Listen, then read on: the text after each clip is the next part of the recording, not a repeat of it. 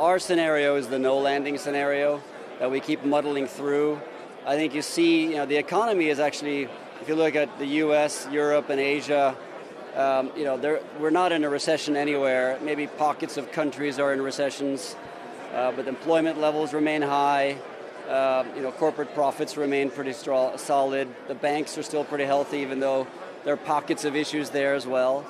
So hopefully we can kind of muddle through, uh, and when the capital markets stabilize, uh, then I think we can get some more activity going. Hopefully some IPOs will start happening again, uh, and we can uh, all get uh, really back to business. Um, let's do some more Aneta. It's nice not having to work. Aneta also asked how a potential market correction would impact EQT's investment strategy. There's always a risk. I guess, you know, there was a correction last year. Now the markets are up, what, 20% this year uh, in the equity side. So, um, you, you know, the, if you look at it from a private equity mindset point of view, what we're trying to do is find great companies or companies that can become great and we want to own them and work with them and transform them over three, four, five, six, seven years. Uh, infrastructure, for example, is also a big new area for private equity where we're one of the global leaders. Uh, that is an area where there's inflation protection, some downside protection, but you still need tools, capital, mindset to, to grow and develop those companies over time. So there's still lots of opportunities, even if the market's moving around, to find those companies and build them with a long-term mindset.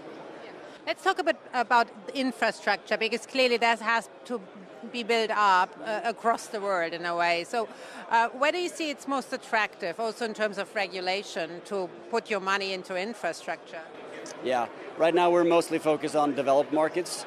Uh, we're trying to invest behind themes like the energy transition, the transportation transition, which is also following energy, uh, aging population, and the digitalization of society. And all those trends are very, very long. They need a lot of capital, a lot of competence. Um, there's regulatory uh, positive pressure behind those themes. Uh, so we're investing across the US, across Europe, and across Asia in those sectors. Uh, over time, they're also going to move into developing markets. Some of them already have, with renewables, for example. Uh, so this is a long-term growth area for the whole private markets industry, actually.